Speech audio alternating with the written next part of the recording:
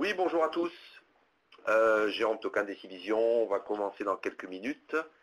Je crois qu'on a coupé les micros euh, pour éviter les bruits de fond. Donc on démarrera dans, euh, à l'heure précise, hein, comme d'habitude, on démarrera à 11h. Jérôme Maillard, est-ce que tu es là? Je suis là, est-ce que tu m'entends? Ouais, on t'entend très bien. Impeccable, super. Parfait.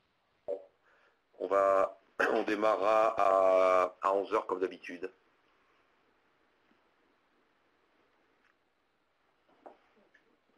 Je recoupe le micro.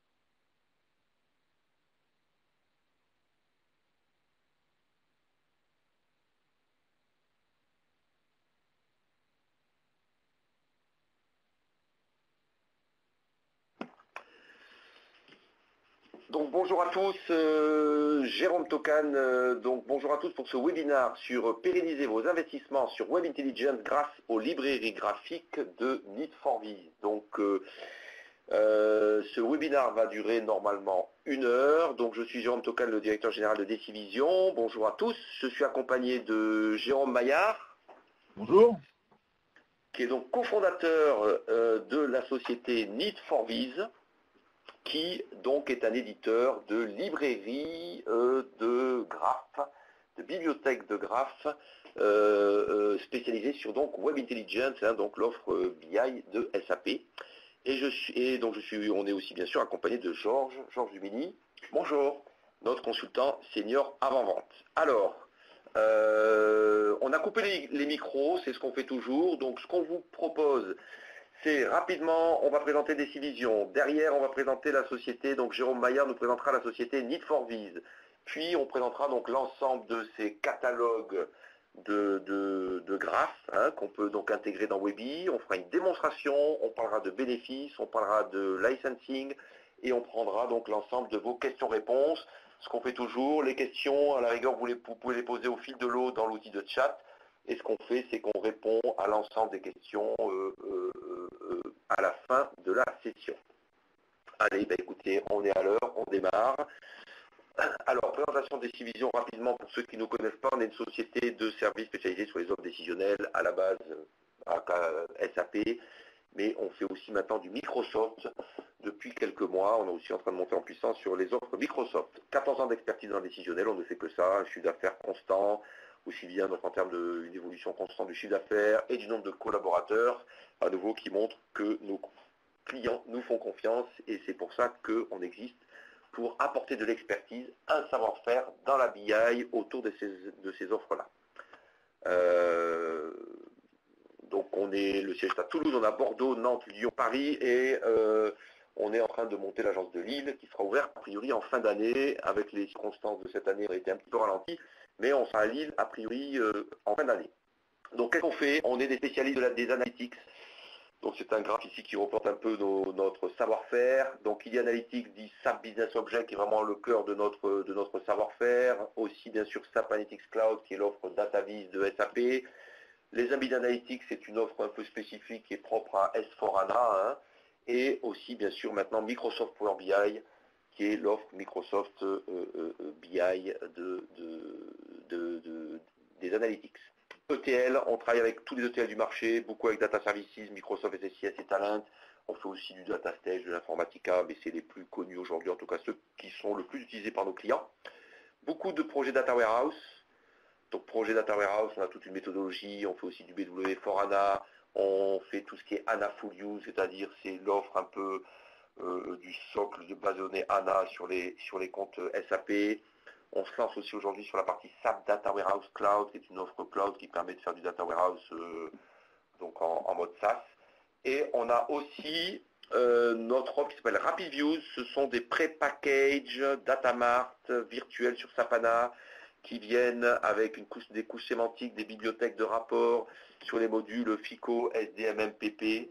Et on, a d'ailleurs créé maintenant une nouvelle société qui s'appelle RapidViews, qui revend le logiciel RapidViews. Donc c'est vraiment ça, des pré-packages euh, pour le monde euh, SAP ANA. Voilà, en tout cas, euh, ce qui nous concerne aujourd'hui, bien sûr, on va parler de Need for Vis. Juste pour terminer, donc on est une boîte de services classiques, prestations, formation, support et licence. On est le premier centre de support en France, on est très fiers et ça nous permet d'avoir une véritable expertise. On a plus de 300 clients Business Object rattachés à notre centre de support des clients un peu partout, tout secteur d'activité. Euh, d'ailleurs, ça nous, euh, ça nous a très, plutôt très bien euh, convenu là, ces derniers mois, parce qu'en fin de compte, on a une belle activité sur le mois d'avril et le mois de mai, et là on est reparti à toute allure, parce que on a des on a entre nos régions et nos différents secteurs d'activité, eh bien, euh, on a été complètement euh, protégé. On a la chance quelque part euh, d'avoir été protégé pendant la crise et de voir que nos clients reprennent énormément de prestations. et voilà, on est multi-secteur et c'est une force extraordinaire, en tout cas à l'heure d'aujourd'hui. Présentation de Need for Vis. Donc, Jérôme Maillard, je te passe la main. Merci, Jérôme.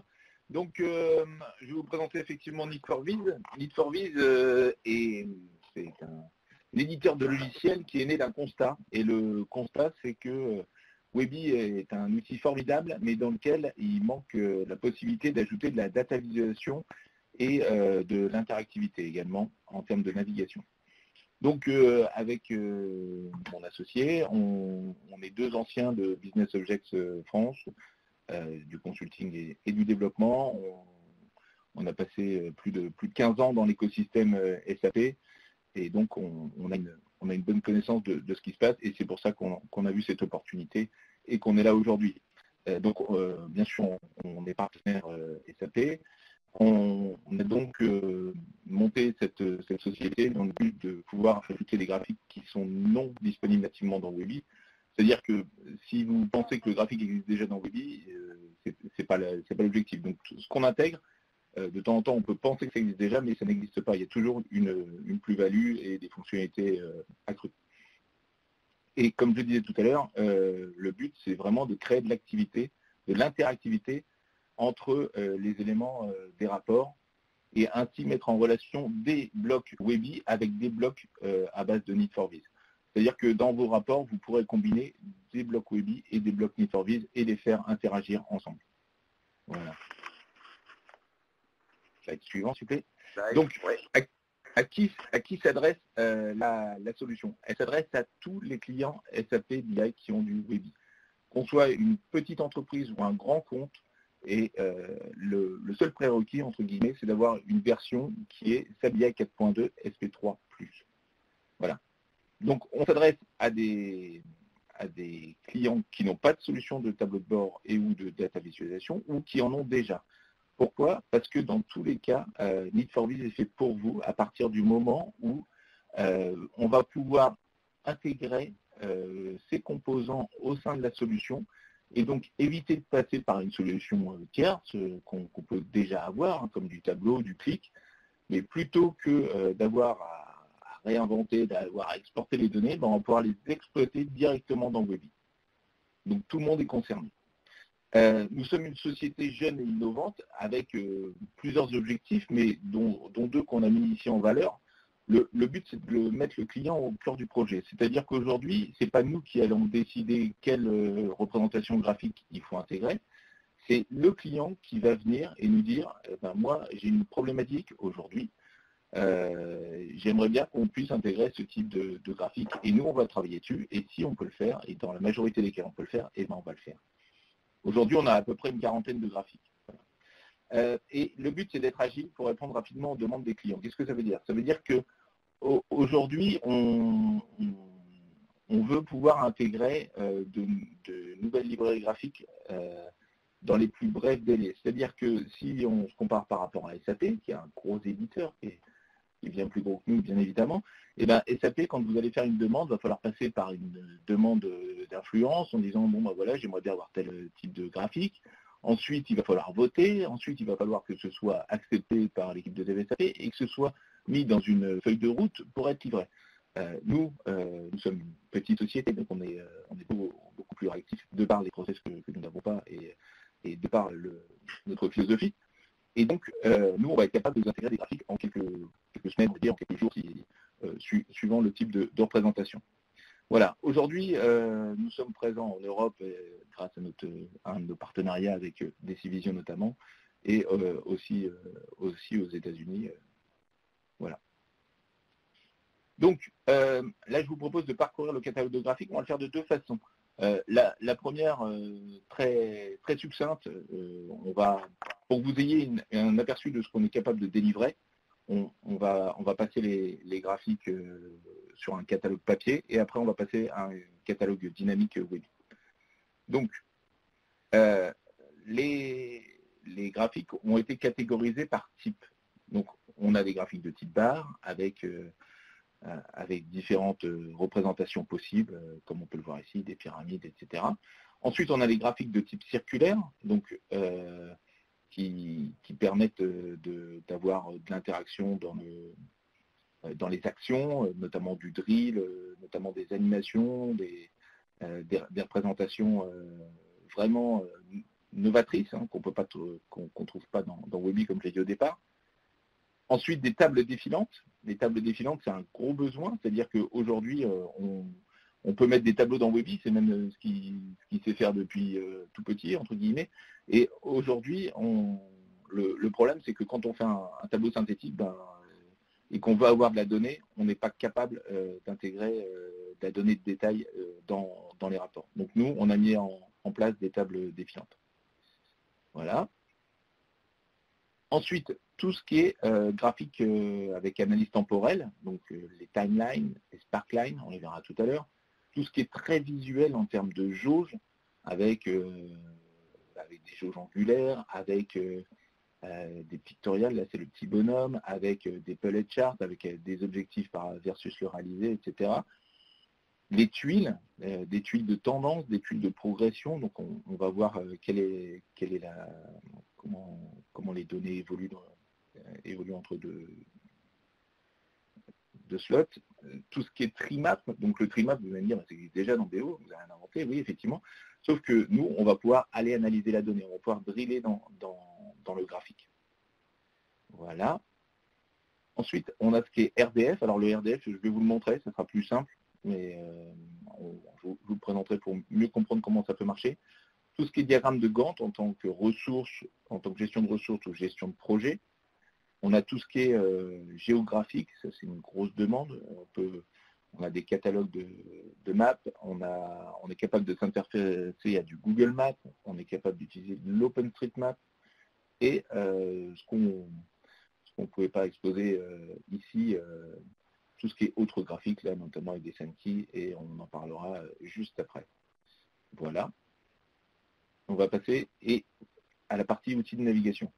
Ce que je vous disais en préambule, c'est que effectivement, c'est bien d'avoir des nouvelles vises, mais ce qui manque aussi dans Webi, c'est le côté euh, tableau de bord, le côté où je vais pouvoir interagir entre mes blocs sans passer par des contrôles d'entrée. Nous, ce qu'on est capable de faire, c'est qu'on est capable d'intégrer vos contrôles d'entrée au centre du rapport. Donc, on va pouvoir euh, utiliser et placer les contrôles d'entrée grâce à nos outils de navigation, là, exactement là où on le veut dans le rapport. Et ça, ça apporte une, rapidité et une aisance euh, de lecture euh, qui, est vraiment euh, différente de ce qu'on peut faire avec les contrôles d'entrée natifs SAP BI. Webi.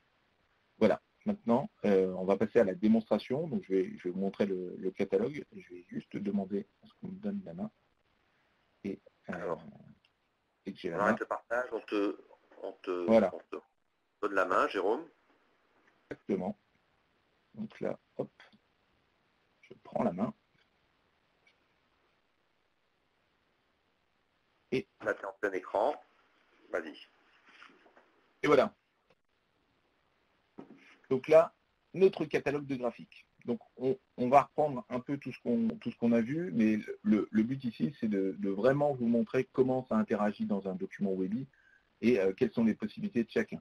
Je, vais, passer très rapidement sur les différents graphiques. Vous pourrez poser des questions après. Sur le SolarDisk, on va avoir deux dimensions, un indicateur, et sur tous nos graphiques, on a la possibilité d'interagir et de voir la donnée juste en passant la souris. Le variable pi, on va avoir une dimension, deux indicateurs, ce qui va donner de la profondeur dans les secteurs et euh, en fonction de la taille du secteur également, donc la surface du secteur. Et ça permet d'identifier très rapidement euh, les, données euh, dans un sens ou dans l'autre, notamment ce qui est le meilleur et ce qui est le moins bon. Dans le bubble chart, vous allez me dire, bah, effectivement, dans Webi, ça existe. Sauf que, comme je vous l'ai dit, nos graphiques sont interactifs. Donc là, je vais pouvoir déjà passer sur mes bulles et comprendre la donnée. Et je vais pouvoir aussi cliquer sur mon graphique et masquer des séries de données. Et je vais pouvoir aussi, en, faisant un zoom, voilà, euh, zoomer sur la donnée pour vraiment masquer ce dont j'ai pas, ce que je n'ai pas exploré et, euh, et avoir vraiment une possibilité d'analyse. Ici, c'est dans ce qu'on appelle le circle packing. On va avoir au centre euh, la, dimension qui a la plus grosse donnée. Donc là, notamment, c'est le Texas. Et si je drill dans le Texas, hop, j'ai une interaction et je vais pouvoir me positionner sur les différentes années et je vois que l'année 2015 euh, c'est la meilleure parce que c'est celle que j'ai positionnée au milieu. Mais par contre, je peux aller sur 2017 et je vais toujours avoir la possibilité euh, d'aller analyser la donnée. Et je peux revenir en arrière, bien évidemment. Sur Sunbust, on a une représentation graphique qui est différente, mais qui permet de, faire euh, aussi ce type d'action je peux me mettre par exemple sur la California en 2018, j'aurais pu passer par California, et là je vais voir tout de suite que c'est mes t-shirts qui ont eu euh, le plus de, ventes. Et je peux revenir en arrière et me mettre sur la Californie, donc à un niveau différent duquel j'étais. Euh, donc les barres, là on a deux drill bars. L'avantage c'est qu'on peut, euh, comme tout à l'heure, aller dans la donnée et puis sélectionner, avoir des représentations différentes. Ici, on va avoir ce qu'on ne peut pas faire dans, dans, Webi. Tu es sur une ligne, tu cliques et tu affiches un camembert et du camembert, tu peux encore driller pour afficher une autre représentation. Là, je suis à trois, je suis à trois dimensions. Je suis à trois dimensions, à trois niveaux, à trois représentations graphiques, ce qui n'est pas possible dans Webi, qu'on avait, qu'on pouvait faire avec des outils de type euh, Lumira Designer, mais c'était plus là de la programmation. C'était en mode programmation, donc un peu lourd. Là, il n'y a aucune programmation où Il n'y a rien à faire. On prend, le, graphique et ça part directement. On, a, on est capable de délivrer des, pyramides des âges, on est capable de délivrer des, des graphiques de type fixed placement column. Donc c'est une dimension et deux, ensembles de, deux indicateurs pour euh, mettre en lumière des, euh, des réels versus euh, réalisés, enfin des réels versus objectifs, des choses comme ça. On on va voir le multi-chart. Ça, c'est un, graphe. Ça, c'est pas mal. Ça, c'est nouveau, ça. Vas-y. Ouais. Ça, c'est vraiment nouveau parce que quelqu'un qui n'a pas le droit euh, de conception va avoir avec ce graphique-là la possibilité de changer à la volée le type de représentation. Donc, voilà. Euh, moi, je considère que la représentation euh, du départ n'allait pas. Et ben, je vais utiliser cette représentation circulaire parce que je trouve que je vois mieux mes données. Voilà. Ok, donc tu as intégré une mécanique de, menu à l'intérieur de ton graphe. Ouais, exactement. Mais qui est accessible vraiment en mode, euh, en mode lecture. Ok. Donc là, là, on a tout ce qui est euh, jauge, donc ce qui est très visuel. Donc on va avoir une jauge entre guillemets classique. Bah, nos jauges, elles ont beaucoup d'options. Hein. Là, on, a d'autres euh, choses pour décrire tout ce qu'on peut faire comme représentation avec nos, avec nos éléments. On, a une Emily Jauge ici, on a des, des traffic lights qui permettent de voir en un coup où on se trouve. On a intégré une jauge Google au cas où ça peut être intéressant. On a euh, intégré tout ce qui est euh, vertical et horizontal euh, bullet chart. Donc on positionne aussi un objectif, les zones dans lesquelles on est dans le rouge, dans l'orange et, dans le, et dans le vert, et on regarde comment on se situe. Là, on a quelque chose qui est vraiment très intéressant, c'est tout ce qui est euh, pictorial. Euh, donc là, on l'a en, jauge, donc avec notre logo. Et donc là, on va positionner euh, un indicateur et regarder comment on se positionne et il va automatiquement remplir. Et là, on l'a fait avec le bonhomme avec des graphes compilés. L'avantage de ça, tu, mets n'importe quelle image là. Voilà. L'avantage de ça, c'est ce qu'on va montrer tout à l'heure, c'est qu'on est capable de mettre n'importe quelle image. Il faut juste avoir le fichier SVG. Il y a des outils sur Internet qui permettent de, convertir une image en SVG et après on intègre ça dans un graphe et on va vous le montrer après justement. Là, on a tout ce qui est Sparkline. Donc le, Sparkline, c'est un tableau dans lequel on va avoir une analyse temporelle. C'est-à-dire que c'est mon tableau et je veux avoir une analyse sur la quantité vendue ou sur mon, sur mon revenu. Et là, je vois que j'ai des grosses différences entre 2016 euh, et 2017 sur euh, cette catégorie. Ça veut peut-être dire que bah, le temps a fait en sorte que, euh, ou alors j'avais un magasin fermé, ou voilà, je vais pouvoir après analyser la donnée et cliquer dedans et pouvoir aller en exploration dans les données grâce à nos éléments de navigation. C'est ça, le Sparkline, c'est le Sparkline, c'est ce qu'on n'a pas dans des graphes classiques de BO, c'est la capacité de rajouter une représentation temporelle, on est d'accord, hein, tes quantities sold de la mis sous forme histogramme, tes sales revenus sous forme de, de ligne, hein, donc il te montre les tendances à l'intérieur d'un bloc et donc à l'intérieur d'une représentation graphique, hein, c'est ça. Exactement. Celui-là, et, là, je, là je vais avoir euh, donc euh, un, un, timeline. Et ce timeline il a il a la possibilité de déplacer dans les données et d'aller euh, comprendre ma donnée et d'aller vraiment zoomer sur ma donnée. Donc ça, c'est quelque chose qui est très très apprécié parce que c'est quelque chose qu'on n'est pas capable de faire nativement dans Weebit. Voilà. Ensuite, j'ai mes gantes. Donc en, termes de, de gantes, on, a, on, est capable de proposer du, de la gestion de projet et de la gestion de ressources. Donc Ici, toujours pareil, je vais pouvoir me déplacer sur mes, sur mes tâches, voir le taux de complétion, voir euh, quels sont mes milestones, voir, euh, pouvoir euh, plier, déplier pour avoir une information plus, plus succincte. Sur ma gestion de ressources, ici, on a pris un, exemple avec le taux d'occupation d'un parc de voitures. Donc, on voit tout de suite quand la voiture est libre et tout de suite qui l'a réservée. c'est la présentation qu'on ne peut pas avoir dans Webi. On va arriver sur les tableaux. Les tableaux, c'est ce que je vous disais tout à l'heure. C'est très intéressant dans le sens où on va être capable d'intégrer un, tableau euh, qui va nous donner euh, l'information euh, de données sans avoir à paginer mon tableau. Donc une information de détail dans un tableau de bord. Jérôme, c'est Jérôme ok, donc là en fait, c'est un bloc où tu nous présentes, euh, je sais pas, 1, 2, 3, 4, 5, 6 colonnes, donc euh, classique. Hein, Sauf que si je comprends bien, c'est ça, hein, dans Web Intelligence, je ne peux pas scroller à l'intérieur du bloc. Tu es obligé de passer en mode du pagine. page à une autre. À part que là, tu as ton petit curseur euh, de type Excel, là, sur le côté, ou donc vertical ou horizontal, que tu retrouves à l'intérieur du bloc. C'est tout con, mais tu n'as pas ça dans Webi. Mais il fallait y penser. Oui, voilà. Bon. Voilà. Et là, donc, euh, on, a, on, a, fait, on a fait une évolution de, nos tableaux euh, avec ascenseur en euh, ajoutant les possibilités de filtrer, de trier, de masquer des colonnes. donc très facilement. C'est-à-dire que là, on n'est on pas, pas dans du filtre Webi. Là, je vais, je vais masquer mes colonnes très très rapidement, juste en quelques clics, parce que c'est le composant lui-même qui va faire le travail. Voilà. Et là, j'avais masqué ma, la, cité, la, ville, et hop, là j'ai remis la ville à nouveau.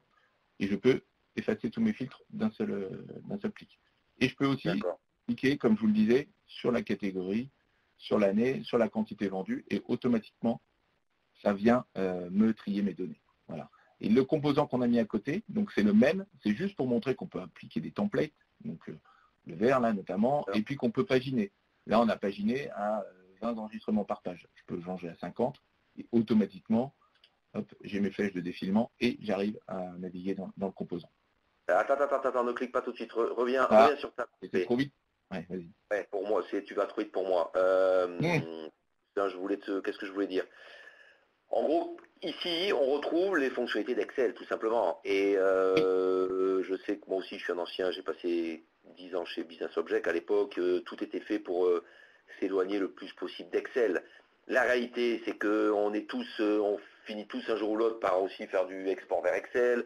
Ce concept d'Excel, c'est quand même extraordinaire. Il ne faut pas cracher sur l'ambulance. Hein. Excel, c'est le meilleur outil au monde pour analyser de la donnée au final, parce qu'un jour ou l'autre, on se retrouve qui qui, ne triture pas de la donnée sous Excel. Donc là, en gros, on retrouve ces fonctionnalités basiques hein, de tri, de filtre à l'intérieur d'un bloc.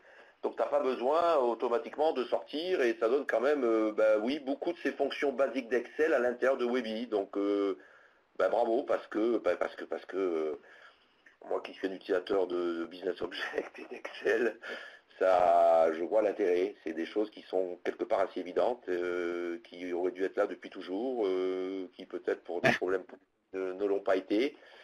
Mais ça a du sens. Ok. Eh ben merci Jérôme pour ces, pour ces précisions. Euh, ouais, parce qu'Excel, euh, Excel, on l'utilise tous, hein, tous les jours. Ouais, exactement.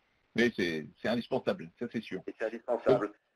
Donc, euh, après... Juste une question avant qu'on continue. Toutes ces blocs graphiques qui sont donc complètement incorporés dans Web Intelligence, on est d'accord que tu t'appuies sur le microcube de Business Object. Quand tu fais une requête dans BO, tu remplis ce qu'on appelle le microcube, donc le, le rapport. Et toi, tes graphes, comme exactement comme les graphes euh, Webi, s'appuient sur le résultat de ta requête qui est dans ton cube. On est d'accord? Complètement. C'est comme un graphe Webi. C'est exactement pareil. On renseigne les dimensions dont on a besoin et euh, ça va automatiquement euh, créer la dimension, enfin la, représentation qu'on a sélectionnée. C'est comme un graphe. C'est les mêmes boutons. Et indépendant du volume de données, tes, tes temps de réponse et ta représentation, c'est exactement la même chose qu'un rapport euh, Webi, qu'un graphe Webi classique. Exactement. Oui, tout à fait. Exactement euh, les, mêmes choses.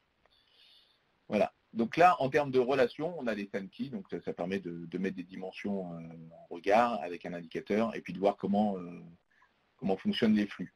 On a la même chose avec le double SANKey, donc on a deux dimensions et deux, deux indicateurs différents et juste en passant la souris, il va masquer ce, que je, ce que je veux analyser et euh, me présenter les données. Donc pour améliorer la lecture, c'est vraiment très intéressant. Après, on va passer au, Trimap. Donc les Trimap, c'est ce que je vous disais tout à l'heure, bah, dans BO, euh, dans Webi, il y en a déjà, oui, bien sûr, mais toujours euh, cette notion d'interactivité, de drill, et je vais pouvoir aller analyser mes données très rapidement. Là, on a, inclus un, Trimap Google, et ce Trimap Google, il, est, intéressant à partir du moment où il, permet d'avoir une dimension père et fils et euh, de hiérarchiser euh, automatiquement euh, les éléments. Donc là, typiquement, on a deux dimensions et lui, il a reconstruit avec les données qu'il avait la, représentation pour, pour trier par tragédie, comédie et histoire.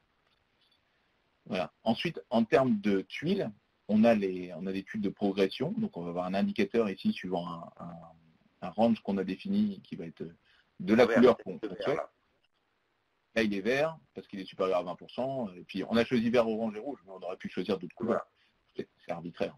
Et on a la même chose pour l'étude de tendance, donc on va renseigner une dimension et deux indicateurs. Il va comparer automatiquement les indicateurs et il va tracer la flèche de la couleur qu'on aura sélectionnée. Là, on les a mis en rouge parce que c'est le chiffre d'affaires. Ça aurait été, ça aurait été les données du Covid, on aurait été plus en vert quand ça descend. Euh, par exemple. Voilà. Et c'est paramétrable. Toutes les couleurs sont paramétrables. On fait ce qu'on veut, hein, comme un graphe. Voilà, c'est paramétrable exactement. Donc là, euh, ouais, le, RDF, donc le Resource Description Framework, qui est utilisé euh, dans l'industrie pharmaceutique et aussi euh, en, IT, qui permet en fait d'avoir de l'interaction, de voir les relations entre les, éléments et en, cliquant sur des boutons qui va mettre en lumière les éléments, là j'ai choisi les, éléments descendants ou ascendants en direct. Je peux cacher la non-sélection, donc tout ce qui ne fait pas partie de l'élément que j'ai sélectionné avec des relations directes. Et après, je peux aussi changer le type de présentation en ben voilà, moi ça me parle mieux quand c'est comme ça. Donc j'ai mes flèches dans les deux sens quand euh, j'ai des relations euh, doubles, euh, une licence quand j'ai qu'une relation, etc. Et je vais pouvoir me déplacer et afficher des, représentations différentes. Donc ça, ça peut être intéressant, notamment quand vous avez votre serveur SAP avec le serveur de base de données et tout, tout ce qui s'ensuit, de connaître quand je vais faire une action sur un des serveurs, qu'est-ce que ça va impliquer comme autre serveur, par exemple. Voilà, ici on en arrive aux éléments de navigation. Les éléments de navigation, euh, c'est ce que je disais euh, tout à l'heure, c'est très intéressant à partir du moment où ça va permettre d'amener réellement de l'activité, de l'interactivité dans le rapport. Donc là, je me positionne sur euh, trois, valeurs de ma liste et automatiquement, il m'a filtré les données. Là, je vais me déplacer ici, je vais me mettre sur 600 000 par exemple, et il m'a filtré le rapport d'en dessous. Maintenant, je veux euh, n'afficher que les données du Texas, et ben, je vais utiliser mon radio bouton et automatiquement euh, mes données du Texas sont filtrées. Et ce qui m'intéresse, c'est tout ce qui est entre 800 000 et 900 000. Et là, voilà, là, j'ai fait mon analyse et je suis arrivé, euh, le Texas Houston, ULR. Voilà. Donc là, là, Jérôme, euh, les, contrôles d'entrée, là tu nous montres des contrôles d'entrée. Les contrôles d'entrée, ça existe dans Webi. Hein, sur le panneau de pause, tu peux définir des contrôles d'entrée qui sont liés à ton rapport. Là, ce que tu nous montres, c'est que ces contrôles d'entrée, tu vas pouvoir les intégrer dans un, sur un, bloc, pas que sur toute la page. On peut les intégrer là où on veut, ouais. On, donne le contrôle sur l'élément qu'on choisit. Sur l'élément qu'on veut. Hein? Donc là, on, est, on est assez en termes de, de, ce qu'on est capable d'offrir. Et tu le places à l'endroit où tu veux par rapport à, dans Webi par défaut, c'est que c'est sur le bandeau de c'est sur un bandeau euh, de menu. Ok. Tout à fait.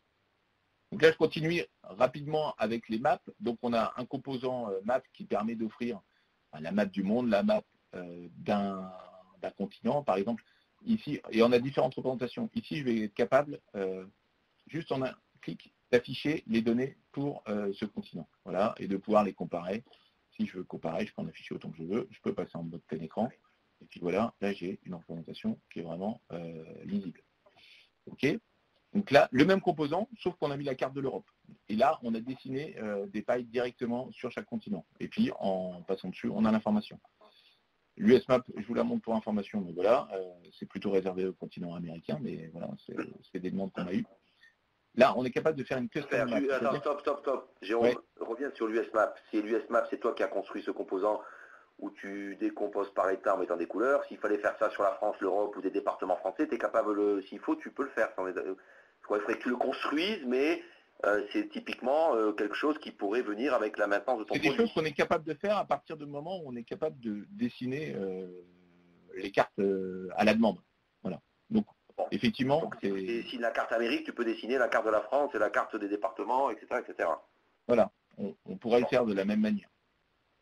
Ok. Donc là, sur les custom maps, là, on a typiquement le, le, Stade de France. Donc, on a la carte du Stade de France dans Webi sur laquelle je peux, passer. Je pourrais même cliquer et avoir un lien d'éléments qui m'affiche des données sur chacune des, zones. Et imaginer même euh, driller dans le composant pour avoir euh, le nombre de, sièges par gradin et euh, d'aller chercher le, prix de la, place qui a été vendue, par exemple. C'est des demandes qu'on a eues. Voilà. Donc là, on est capable de représenter n'importe quelle usine, toutes les représentations graphiques. Ensuite, là, euh, là c'est un autre type de carte, donc c'est toujours une, carte avec, euh, sur laquelle on offre du drill. Donc on va pouvoir aller euh, passer d'une région à des départements et puis avoir l'information qui s'affiche dessus. On a toujours aussi la possibilité de cliquer sur la légende et de masquer ce qui ne nous intéresse pas. Voilà, de, de, façon à avoir une lecture vraiment simplifiée. Voilà pour ça. Et je vais finir par les euh, Google Maps et OpenStreet pour laisser. Voilà. Donc ici, on a euh, trois types de représentation Google. Donc là, on a deux cartes différentes. En fait, on a de la Google Maps et de la Google Heatmap. La Google Heatmap, ça permet de représenter euh, des points chauds sur une carte. par exemple, là, je vais prendre un rayon de 1000 mètres et je vais mettre à jour et automatiquement, il va me coloriser les données en fonction de ce que j'ai rentré. Donc ça, ça peut être intéressant pour euh, analyser des, points chauds ou des choses comme ça. Ensuite, on a la Google Map et la Google Map Geocoding. En fait, c'est dans le Geocoding, on rentre une adresse parce qu'on n'a pas les points longitude, latitude. Et dans, la, dans celle du on renseigne les points latitude, longitude directement. Donc, ce qui permet d'aller plus vite à l'affichage, au moins pour la première fois.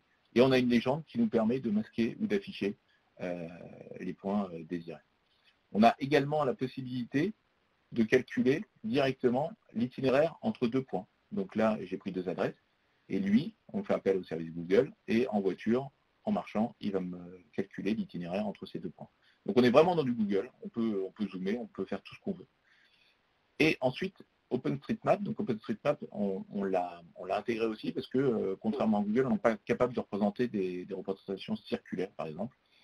Donc ici, on va pouvoir mettre les données euh, de, notre, de notre magasin et puis on a rajouté une information qui me paraissait intéressante, c'est d'avoir la tendance. Donc euh, là, c'est vert parce qu'on a une tendance qui est positive. Là, c'est bleu parce qu'on n'avait pas de tendance par rapport à l'année dernière.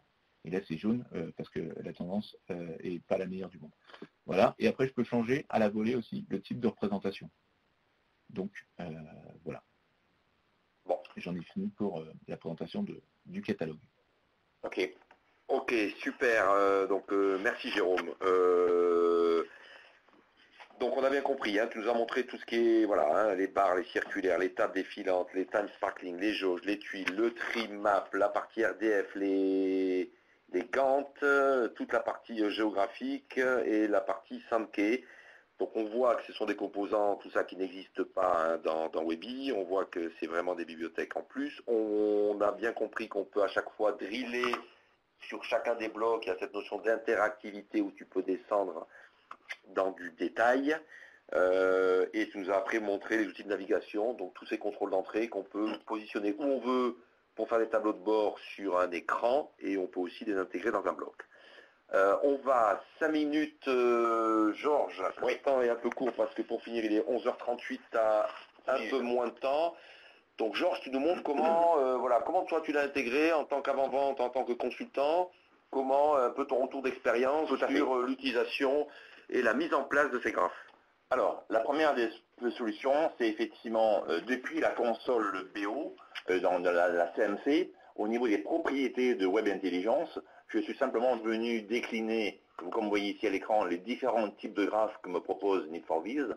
Et derrière, sur chacun des graphes, j'ai ici indiqué, j'ai pris le choix de travailler avec ces graphes-là euh, en mode cloud, je pourrais aussi travailler en mode on-premise et avoir ces bibliothèques d'images soit sur mon, serveur en local et chez moi, soit les attaquer euh, depuis le cloud à distance.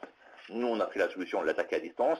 Donc depuis la CMC, dans les propriétés Webi, je décline les différents types de graphes. Je viens simplement lui indiquer l'URL du graphe. À partir de là, eh bien, je vais pouvoir directement dans Webi pouvoir accéder à mes documents. Donc je vais démarrer ici euh, ma plateforme me connecter et vous montrer comment, en partant d'un simple, graphe euh, classique, euh, pas très, pas très un tableau, je vais transformer ceci en graphe un peu plus euh, original. Donc pour ceci, je vais ouvrir un document, un modèle que j'avais là, par exemple. Ce modèle-là, tout simplement, qu'est-ce qu'il va avoir? Simplement une table, hein, une classique, et on va pouvoir tout simplement cette table-là eh bien, dans mon bouton, dans Webi, là, je suis bien dans Webi, je vais passer en mode conception, et en conception, je vais venir sur mon bloc, et ce bloc-là, je vais le transformer comme je pourrais le faire sur n'importe quel graphe, autre graphe BO, et quand je viens faire ce bouton-là, transformation, eh bien, je vois qu'il me propose ici les, différents types de graphes. D'accord les différents types de graphes BO, mais je vois aussi dessous que par le CMC, il a intégré les différents autres graphes, non ceux proposés par Inforvis. Donc là, ce graphe-là, je veux le transformer par exemple en graphe à barre. Bien simplement, je clique dessus. Il me propose, comme pour les autres graphes BO, différents types de graphes. Je vais prendre un graphe à barre qui me permet de faire du drill dans mes, dans mes graphes. Et je vais faire ici OK. Il va le transformer automatiquement euh, dans le dans ça, c'est le premier niveau de graphe. Hein. Donc là, on voit que ici, sans avoir mis dans mes univers quelconque hiérarchie, eh bien, je vais pouvoir naviguer dans mon document, passer de la Californie, ici, descendre au niveau de mes années, et de mes années, descendre au niveau de mes trimestres, et je vais remonter à ce niveau-là. Donc ça, sans, avoir, encore une fois, je me répète, mis dans les univers de notion de hiérarchie. Sur chacun des graphes que vous propose InfoVis, bien entendu, je vais avoir accès aussi aux propriétés.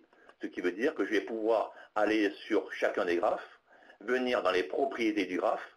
Et sur les propriétés du graphe, je vais pouvoir changer, poser, mettre des titres évidemment, changer, changer de couleur, euh, mettre différents tons de couleurs, améliorer par exemple ici la représentation de mon graphe en demandant un graphe multicouleur avec des effets gradients. Je vais également pouvoir, euh, au niveau des axes, intervenir, c'est comme dans les propriétés de n'importe quel graphe Webi, et dans les options par exemple, ici je vais demander par exemple que mon premier graphe soit un histogramme, mon second graphe soit une ligne et mon troisième graphe soit un camembert, avec aussi, pourquoi pas, une tendance. Donc je vous montre là les propriétés qu'on pourrait avoir sur, tous les graphes qu'on vous propose. À partir de là, eh bien, je vais me retrouver ici avec effectivement euh, voilà, un nouveau graphe, avec les, colorisés, avec ma ligne de tendance et la possibilité de naviguer. D'accord? Donc à partir de là, eh bien, je vais pouvoir donc euh, tout simplement récupérer tous mes, tous mes graphes. Là, j'ai pris mes graphes, là, je vous, ai, présenté, moi, je les ai automatisés en les ayant mis dans des éléments partagés. Hein. Donc ces éléments partagés, qui est une euh, fonctionnalité de Webi qui existe depuis quelque temps, je vais pouvoir récupérer, par exemple, je vous montrer deux, trois graphes que j'ai récupérés euh, et que j'ai intégrés automatiquement dans l'outil. Ici, par exemple, on va avoir en premier lieu, par exemple, un Sparkline.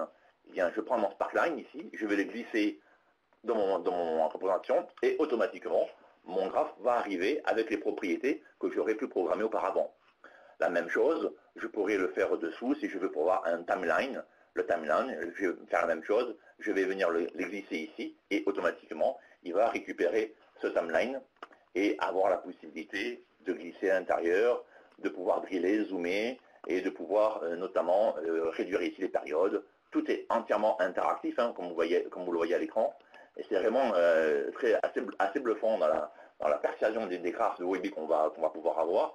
Je vais vous faire un troisième, élément, par exemple ici avec le multichart, multigraphe plutôt. ici je vais le glisser, et lui aussi est assez bluffant. C'est la possibilité de, à la volée, là je, suis, je peux être aussi en mode lecture, hein, en mode lecture, de pouvoir Ici, tout simplement, un lecteur va pouvoir de lui-même choisir les types de graphes qu'il veut, veut, avoir et pouvoir, avec la souris, définir la période qu'il veut faire un focus et analyser. Et revenir en arrière s'il le souhaite et euh, changer, changer de graphe, puisque ce n'est pas, pas, réservé qu'au mode concerteur. Hein. Le lecteur va aussi avoir cette interactivité. Autre élément, le dernier élément que je vais vous montrer, c'est la partie tabulaire. C'est effectivement toujours dans cette partie-là de pouvoir intégrer les graphes avec les notions de scroll bar et la partie Excel, où on va ainsi pouvoir automatiquement récupérer de nouveaux types d'usages dans les rapports, ce qu'on appelle ici le NAV4 euh, Excel in Webi. Donc je vais le glisser ici, et on va, c'est là on va avoir une sorte de table avec des scroll bars et également avec des filtres, embarqués, un petit peu en mode Excel, qui vont être embarqués dans, l'outil et qui vont permettre de zoomer cette partie-là. Donc l'implémentation de ça euh, au niveau de mes, graphes m'a pris 5-10 euh, minutes, hein, c'était très rapide au niveau de la console d'administration. De suite, en ouvrant Webi, j'ai retrouvé la totalité de mes graphes et dessus j'ai pu agir avec toute l'interaction. Donc c'est vraiment un déploiement, un déploiement qui m'a pris vraiment main 10 minutes, pas plus, et après, bien, chacun, chacun des graphes, le temps nécessaire de s'approprier les propriétés de chacun des graphes.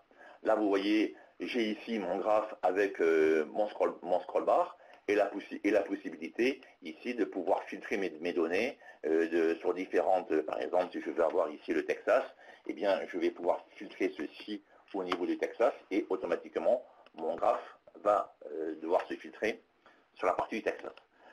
et, ici j'ai aussi la possibilité de filtrer mes colonnes, donc là j'ai un petit de temps de latence, mais le principe est là, donc c'est vraiment effectivement euh, très bluffant en termes de tous les types de graphes qu'on va pouvoir récupérer et avoir. Voilà, je vais, moi j'ai terminé par la partie démonstration. Je vais repasser la main à, Jérôme euh, Maillard qui va vous montrer comment effectivement euh, dans, un graphe, dans un tableau de bord réel, il a pu mettre ceci en place. Alors je vais arrêter le partage. Et que ça, ça y est, c'est arrivé. Hein. C'est moi, c'est ma plateforme qui a un peu de temps de latence. C'est un peu long chez toi, je pense, Georges. C'est un petit peu long chez moi, effectivement. Euh, j'ai ma plateforme qui a un petit des soucis, mais voilà, c'est arrivé et on peut effectivement filtrer euh, tous les, toutes les, colonnes. D'accord? Je vais arrêter le partage, redonner la main à Jérôme, qui va, lui, va vous faire une présentation sur ce rapport. Jérôme Maillard, toi, euh, là, qu'est-ce que tu... Juste très rapidement, là, rapidement le... Ouais. Comment ça s'appelle? Euh, Un tableau de bord. Un, tableau de bord, oui, exactement. Qui qui est en production pour un, une usine de, mine euh, au Canada. Hein, euh, hop. Vous voyez bien mon écran, hein, c'est bon? Oui, oui. On voit ton... Oui, tout à fait, c'est bon, ça arrive. Ça y est, on le voit. Voilà. Donc, juste pour vous montrer en, quelques, en quelques clics hein, la possibilité, euh, ce qu'on disait avec les, avec les éléments de navigation, hop, en, cliquant, on va pouvoir changer la donnée. là, je vais cliquer ici, ça va interagir sur mon bloc à côté euh, qui, est un, qui un Sunburst, euh, qui est un Sunkey. Et là, j'ai les résultats pour l'équipe A. Je passe très vite parce qu'on n'a plus beaucoup de temps. L'idée, c'est de se mettre ici, ben voilà, j'ai un graphique, sauf que ce graphique, c'est un graphique Webi. Donc, comme je vous disais tout à l'heure, on est capable d'intégrer, bien sûr, des graphiques Webi avec des graphiques Need for Viz. Sauf que là, je trouve que euh, je vois pas, je vois pas bien. Donc, je vais passer avec un graphique de type temps. Je vais mettre une timeline. Et là, sans, sans modifier quoi que ce soit, hein, j'ai juste un graphique Webi et je suis arrivé à un graphique Need for C'est ça qui est quand même super. Ça veut, ça veut dire que je prends n'importe quel de mes rapports Webi, ouais. existant, typiquement là, et je fais un clic droit et je transforme euh, mon histogramme qui était un peu, qui était trop dense là, et je, je switch en mode euh, et puis je fais, j'enregistre mon rapport et terminé. Et il est voilà. je lui ai rafraîchi, euh, j'ai rafraîchi mes graphes. Oui. On a récupéré, on a récupéré la palette de graphiques, on est vraiment intégré à Webi, hein. vraiment. c'est ça, c'est ça. Et là, c'est là dans le c'est comme si tu avais une nouvelle version qui contient des nouveaux graphes. Hein. C'est pas plus compliqué que ça. Ok. Exactement. Et, là, euh, j'ai un, ah non, non, non, c'est plus que ça. SVG. Oui, mais là, je suis sur un histogramme. Non, je suis sur mon histogramme. J'ai pas besoin de recréer un autre bloc. Je clique droit et je passe de mon histogramme à mon histogramme euh, Sparkline. Oui, c'est exactement ce qui s'est passé, ouais. Ouais, exactement ce qu'il a fait. Et ça, c'est sacrément, euh, je peux passer un coup de rafraîchissement sur tous mes rapports. Ok. Voilà. Et donc là, on peut euh, changer, euh, par exemple, le logo euh, qui est le logo d'It4Viz. On a mis, enfin j'ai un fichier SVG, et donc je vais, je vais pouvoir, avec mon fichier SVG, hein, j'ai pris une image et je l'ai transformée en SVG, et là, ça me transforme en, wagon de charbon, et puis je peux, pour illustrer que je peux mettre n'importe n'importe quelle donnée, n'importe quelle image ici. Voilà. Et là, j'ai toujours l'interactivité. Donc là, je suis sur un graphe Webi qui va interagir avec un graphe Need for Viz. Voilà. Donc là, encore un graphe Webi, et là, j'arrive à un graphe Need for Viz. c'est complètement intégré. Hein. Il y a aucun. Il y a complètement intégré, exactement. Dans tous les sens. Voilà. Ok. J'arrête le partage. On en... Ouais, on arrête cela, il est 11h49. Voilà. Je reprends le partage. Je reprends le slide. Euh, on reprend les slides. Euh, slide, 30 euh, secondes. Hop là. Là, ici. Et je vais passer en plein écran. Ok. Tu es en plein écran? Non. Non. Ok. Et dupliquer. Voilà. Alors, pardon. Hop là. Donc ça passé. Voilà. Donc pour résumer, Jérôme, les atouts de la solution. Donc les atouts de la solution, comme on, l'a vu, on peut, intégrer un graphique qui correspond exactement à votre besoin. On a la possibilité d'interagir dans les graphiques. comme je vous l'ai montré, on masque des séries, on zoome, on cache des rappeurs, on affiche d'autres. On a de l'interactivité grâce à nos éléments de navigation. On peut exporter au format HTML. Je vois qu'il y a des questions. On peut exporter chacun des graphes unitairement au format HTML. Euh, Webi fait un export avec une image, nous on fait un export HTML. C'est-à-dire qu'on aura exactement le même composant exporté que celui avec lequel on joue dans Webi. On a la possibilité d'utiliser euh, des liens. Oui, j'ai vu qu'il y avait pas mal de questions au niveau des exports. Donc quand j'exporte, euh, alors répète ça, je suis sur mon rapport, je fais fichier export. Voilà, en fait, on a un menu qui permet d'exporter, c'est-à-dire que dès qu'on va actualiser le rapport, il va l'exporter. Donc je peux scheduler mon rapport, je peux le planifier, et euh, par exemple, si j'ai des données qui s'actualisent euh, tous les jours ou toutes les 5 minutes, je vais mettre la fréquence correspondante et automatiquement, il va exporter le rapport sur un système de fichiers. Et après, euh, il faut juste l'exporter au bon endroit. C'est pas, ni Là, là, tu parles des, fonctionnalités de planification, de publication de. C'est du Need On a un menu exprès pour chaque composant pour faire cette opération. Que quand tu fais un export HTML avec, avec Webi, en version BI Launchpad en tout cas, il, t'exporte un PNG. Donc il fait une photo euh, du graphique. Nous, on exporte le graphique avec son visuel, avec son interactivité. Et c'est Tu peux zoomer dedans. Ah, on, peut Répète ça. C'est-à-dire qu'en gros, je peux. Donc ça veut dire que je peux me retrouver avec mon bloc, l'interactivité. Donc ça veut dire que tu stockes et les données, elles sont où? Et les données, elles sont bah, dans le fichier HTML, elles sont exportées avec le HTML. D'accord. Et je peux aller stocker ça euh, donc en dehors de BO. Exactement. Sans, utiliser une licence. Sur un site SharePoint, sur un site euh, intranet. Euh. Sans utiliser une licence Business Object. Voilà.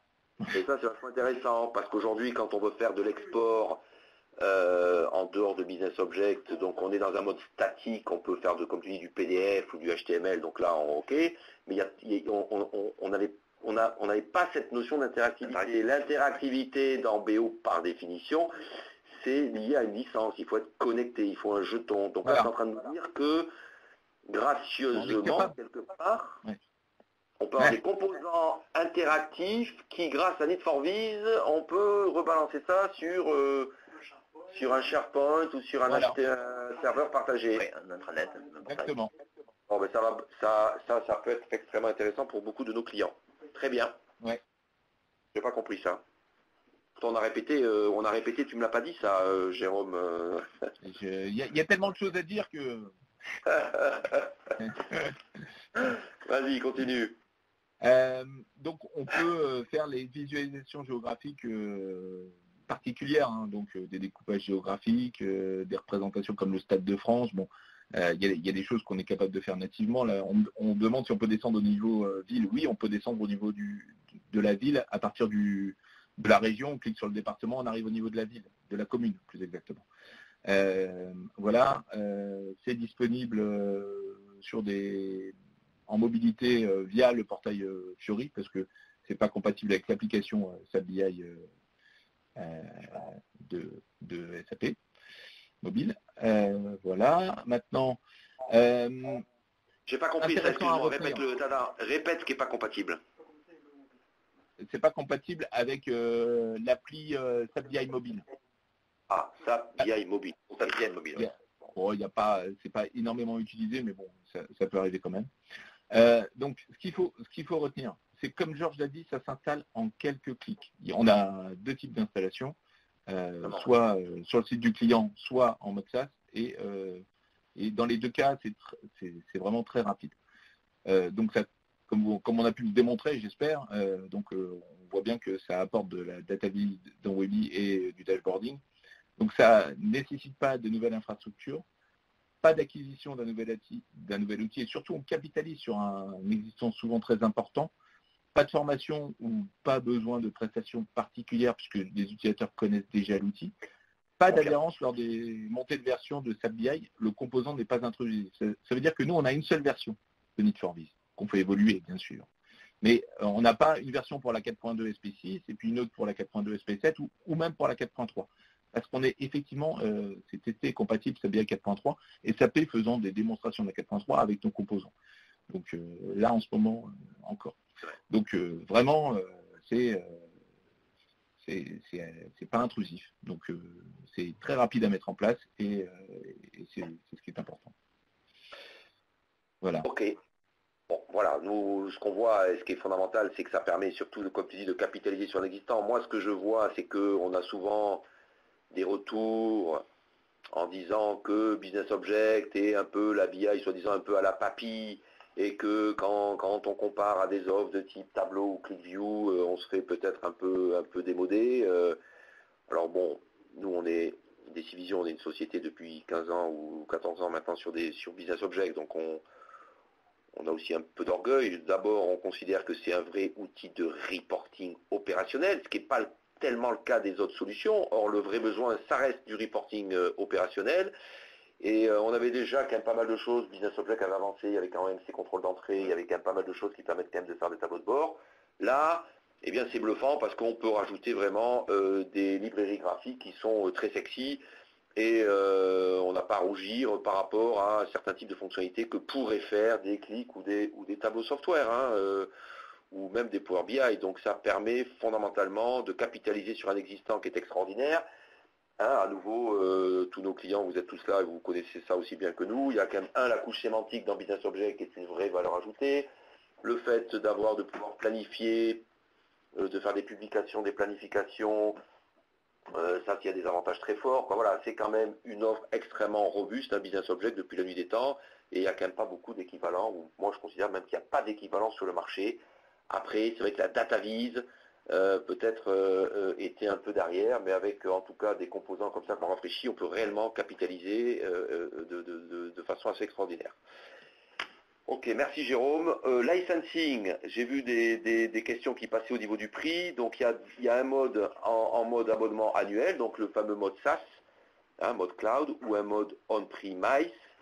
Euh, et à partir de là, alors prix, alors les tarifs des licences sont en fonction de deux critères. Le nombre de licences que vous avez, si vous avez donc euh, le mode, alors CSBL, donc simultané ou licence nommée, et selon le nombre de composants choisis. Donc Jérôme, Jérôme aujourd'hui, Jérôme Maillard, tu as une offre où on prend que 10 graphes, où on prend la totalité de la bibliothèque de graphes, qui est aujourd'hui autour de quarantaine.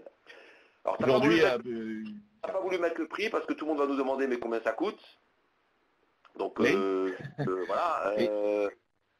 Et, et, c'est pour ça qu'il faut se rapprocher bah, de, de Décivision. Se rapprocher de nous et, on, et, voilà, tu voulais pas afficher un prix, mais bon, c'est pas. Bah, c'est tellement un peu compliqué d'afficher les prix parce qu'il faut bien comprendre le mode de licence. Euh, ce, qui est, important aussi, euh, c'est d'essayer. Vas-y, vas-y, vas-y, vas-y. Ça reste, abordable. Nous, ce qu'on veut, c'est que le maximum de clients puissent y avoir accès. C'est notre, c'est vraiment ce qu'on veut. On ne veut pas faire un truc qui soit réservé. Par des divisions, au décivisions, on, est très fort pour pour négocier euh, auprès de SAP dans vos conversions de licence et on se fera un plaisir de négocier auprès de toi, Jérôme, pour euh, trouver le meilleur prix, le juste prix. Ce sont des librairies, euh, euh, c'est des add-ons à Business Object, donc ça n'a rien à voir avec le prix de Business Object. Et on trouvera toujours le juste prix pour que ça soit cohérent par rapport à votre Exactement. On va dire ça comme ça. c'est vraiment déployer. C'est ça. Toi, tu veux déployer ta solution et tu bosses et tu as fait un travail extraordinaire avec cette, euh, avec cette, euh, cette solution qui peut vraiment apporter un plus et permettre de capitaliser et permettre à l'ensemble de nos clients euh, de pouvoir quelque part arriver, de dire ben, regardez ce qu'on fait avec BO là et de sûrement quelque part refroidir ceux qui chez vous, chers clients, qui s'imaginent qu'avec Click et avec Tableau, je ne sais pas quoi, on peut faire mieux. Et, donc vous, clients, vous avez, voilà, ça peut vous apporter un plus. On trouvera le juste prix. Euh, Jérôme, toi Jérôme Maillard, tu as besoin, tu viens de créer ta société en début d'année, tu as fait un super boulot, donc euh, bien sûr qu'il faut aussi que tu puisses vivre et que tu puisses euh, faire fonctionner ta, société. Et puis nous, entre les deux, ben, on est fondamentalement, on est là pour que nos clients nous fassent confiance sur tout ce qu'on délivre autour de, autour de la BI. Donc si on est tous malins entre toi Jérôme, nous Décivision et les clients, et c'est ce qu'on fait depuis 15 ans, et il n'y a pas de raison que ça continue, on trouvera toujours le juste prix et on fera en sorte que tout le monde soit content.